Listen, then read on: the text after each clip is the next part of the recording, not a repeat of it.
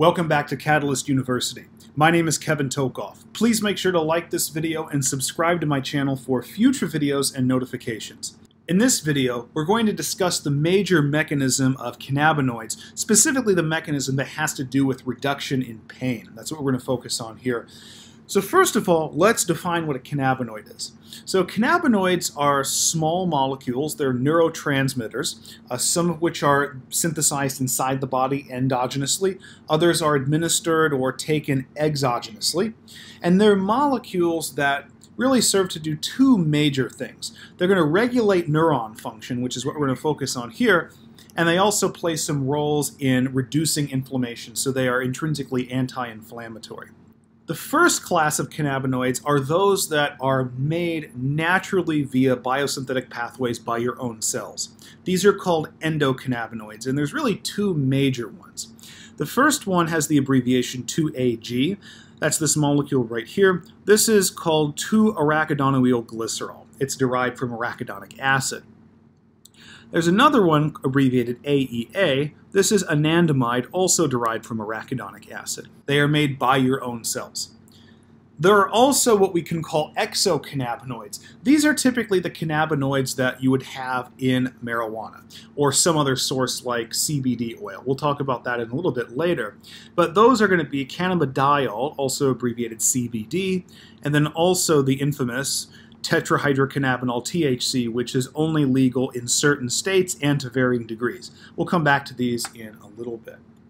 But we're going to focus on the mechanism of how these cannabinoids are going to reduce the perception of pain. So we're going to imagine a situation right here where on the right side, here is a presynaptic neuron. On the left side, this is a postsynaptic neuron. And so the information is traveling, in this case, from right to left. Right. And we're going to assume that information that's being uh, propagated uh, between these two neurons is pain. So when we have a painful stimulus, we're going to have an action potential that's running down this axon of the presynaptic neuron.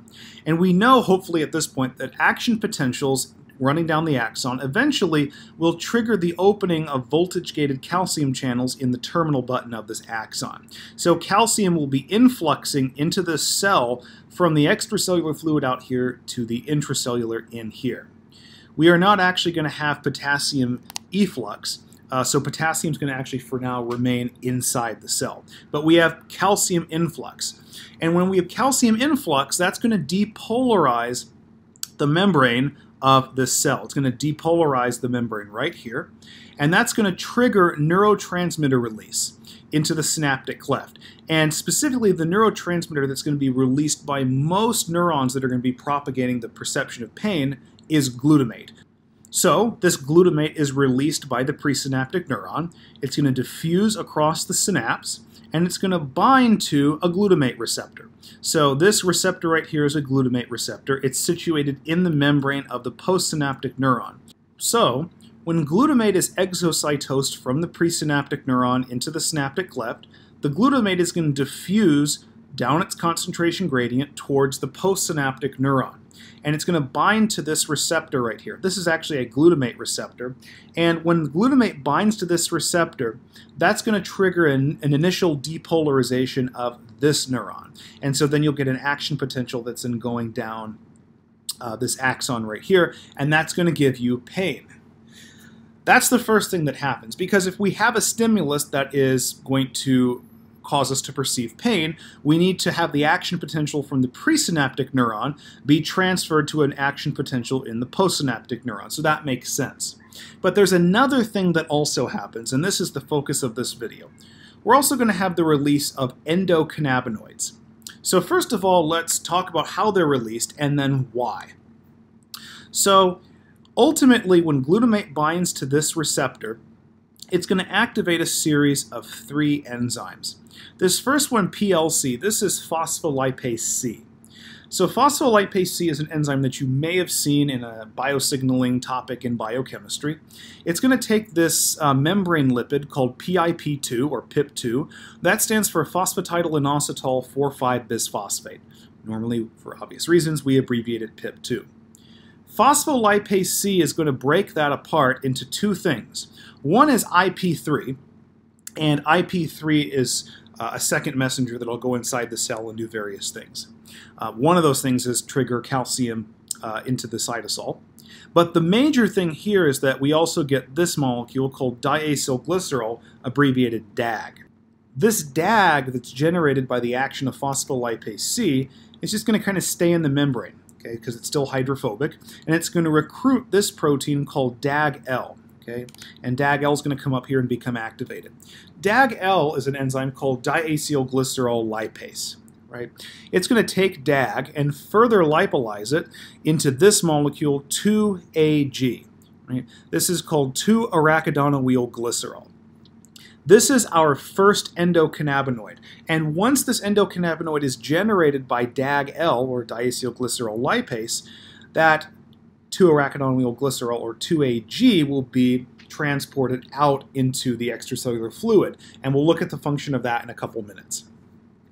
There's another enzyme here, PLD. This is phospholipase D.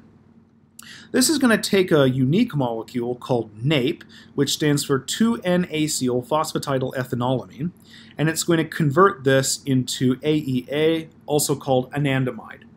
And out of these two, anandamide is usually the most uh, recognized endocannabinoid, but in any case, whenever PLD forms anandamide from NAPE, this anandamide, like the 2AG, is going to be transported out into the extracellular fluid. And these two molecules are actually going to bind over here to this receptor that's on the presynaptic neuron called CB1. This is a cannabinoid receptor. Now, looking here, when 2AG and anandamide come over here and bind to the cannabinoid receptor, there's two things that happens. Okay, One it stimulates potassium efflux. Okay, so this stimulates potassium efflux right here.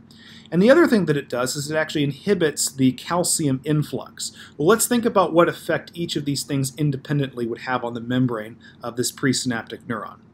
If I stimulate potassium efflux, that would cause hyperpolarization of the membrane because potassium is moving out and the inside of the cell becomes relatively more positive. So I'm hyperpolarizing the membrane. If you were to inhibit the calcium influx, then calcium can no longer come into the cell, so you're inhibiting depolarization. So this does two things. One, it inhibits depolarization, and two, it stimulates hyperpolarization of the membrane of this presynaptic neuron. And so overall, you have hyperpolarization. Now let's think about what that hyperpolarization would do.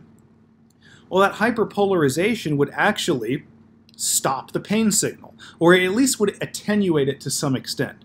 But why would we want that? Because we had a, a, a, painful stimuli, we want to perceive pain. It occurs because you don't want that pain stimulus to keep going up and up and up or to continue indefinitely. That would be really bad. Okay?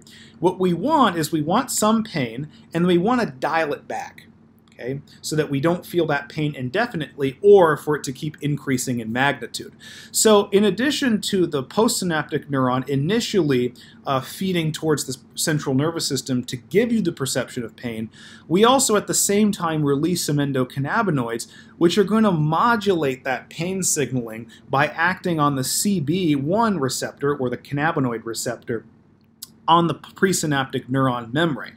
And that's going to decrease uh, the release of glutamate, ultimately by uh, stimulating hyperpolarization and inhibiting depolarization, right? And the major purpose of that is so that the pain signal doesn't get out of control. And keep in mind that in order to get the release of glutamate right here, this membrane has to be depolarized. And so that's why we have the calcium influx from the initial action potential. But if we inhibit this calcium influx and stimulate potassium efflux, then less and less glutamate is going to be released. And this is a this is more or less a, a, a, a, stimulus that we can have in a graded fashion. So we can have varying amounts of glutamate release. It's not necessarily an all or nothing uh, phenomenon here. Okay, but the point is, is these endocannabinoids are going to feed back on the endocannabinoid receptor or just the cannabinoid receptor, and they're going to decrease the release of glutamate, which is going to attenuate the pain response. Okay. Now that's extremely important because we can actually use the cannabinoid receptor, the CB1 receptor, as a therapeutic target in order to reduce pain. And actually, this is precisely what CBD is used for. So actually, I mentioned uh, that we have two exocannabinoids. These are not biosynthesized by your body. These are actually made in plants, uh, such as the marijuana plant. And marijuana in general has two major exocannabinoids. One of them is the psychoactive form. This is the one that most people associate with the drug use. This is tetrahydrocannabinol, or its full name, delta 9 tetrahydrocannabinol, abbreviated THC. The other one, which is more benign in nature and is actually legal in all 50 states, is cannabidiol, or CBD. And so if you ever see CBD oil, uh, that's going to be an oil that has a significant amount of CBD in it, but very minimal, in fact, negligible amounts of THC. Okay, um, and so the reason we can use these therapeutically is because cannabidiol and THC, if we're being really technical, can actually bind weakly to the CB1 receptor. Okay, and so what can happen in that case is, for example, CBD, cannabidiol, going to bind to the CB1 receptor, and that's going to do the same thing that 2-arachidonyl-glycerol and anandamide did on the previous slide. They trigger the activation of the potassium channel, but they inhibit the influx of calcium. They're going to do the same thing. They're going to stimulate efflux of potassium, which would tend to cause hyperpolarization, and this will inhibit the influx of calcium, which inhibits depolarization. And so combined, the net effect is you have hyperpolarization of this membrane, which, which leads to diminished glutamate release by this presynaptic neuron. And so if you have diminished glutamate release, then there's not as much glutamate, or if any, binding to this glutamate receptor, and so there's little to no action potentials, and so no pain. And so this is kind of the basic mechanism right here as to how cannabidiol is actually going to be able to relieve pain. Put a little bit of a flow chart up here. We have CBD activating CB1, that's this receptor. Net hyperpolarization of the presynaptic neuron, which causes less glutamate release and then decreased pain perception. Okay, actually I've misspelled that right here, but I think you get the idea. And a little bit of the differences between cannabidiol and tetrahydrocannabinol are illustrated in this table right here. THC is the psychoactive ingredient. Notice that CBD is non-psychoactive. Okay, uh, you've probably heard THC gives you the munchies. It's an appetite stimulant and it tends to promote drowsiness. Um, THC is actually slightly stronger in its analgesic effect, meaning its pain relief effect, but it does exhibit some side effects such as potentially paranoia and anxiety. Okay, although usually these are pretty minuscule side effects. CBD, on the other hand, has a lot more therapeutic targets, such as the fact that it's neuroprotective. It's anticonvulsant and it behaves as an antioxidant, so it's able to scavenge for free radicals. Technically, THC can do this as well. If you notice, you have this aromatic ring right here, so if it ties up a free radical in there, it neutralizes the free radical. And so it can help protect against the effects of inflammation. It's anti inflammatory. It's also anti tumoral. In fact, there have been studies that have shown that CBD, while it's not completely effective of totally eliminating a tumor, cancer, it's very therapeutic in at least slowing the cancer down and even helping reduce it with combined with other therapies. Okay. So CBD is extremely therapeutic, and actually what we're seeing right now is there are trials, not yet in humans, but very successful trials in animal models that show uh, several of these things as utilities of CBD. Now, one thing I wanted to mention before concluding this video is there's a little bit extra detail here that I didn't include that's a little bit irrelevant, but I wanted to make sure to cover it. Um, whenever glutamate diffuses across the synapse here and activates this glutamate receptor, there's actually a couple different kinds of receptors. Uh, we can either have an, um, an inotropic glutamate receptor or a metabotropic glutamate receptor. In either case, we either have calcium influx or a G protein as being the direct activator of these three enzymes, phospholipase C, diacylglycerol lipase, and phospholipase D, although the net effect is the same. And then when we activate the cannabinoid receptor, technically the uh, the effects on the potassium channel and the calcium channel are due to the levels of cyclic AMP. So really, whenever the uh, cannabinoid receptors activated, we have an inhibitory G protein that inhibits the enzyme adenylate cyclase, or AC. Adenylate cyclase, recall, normally converts ATP into cyclic AMP. This should actually say ATP. Um, and so if we inhibit this enzyme, we're going to drop the levels of cyclic AMP. And so when levels of cyclic AMP drop, that's going to be what actually triggers the activation of the potassium channel and the inhibition of this calcium channel. But in any case, I hope this mechanism of pain transduction right here as it relates to the CB1 receptor makes sense, and hopefully you learn how we can actually use CBD as a potential therapy for the treatment of pain. Please make sure to like this video and subscribe to my channel for future videos and notifications. Thank you very much.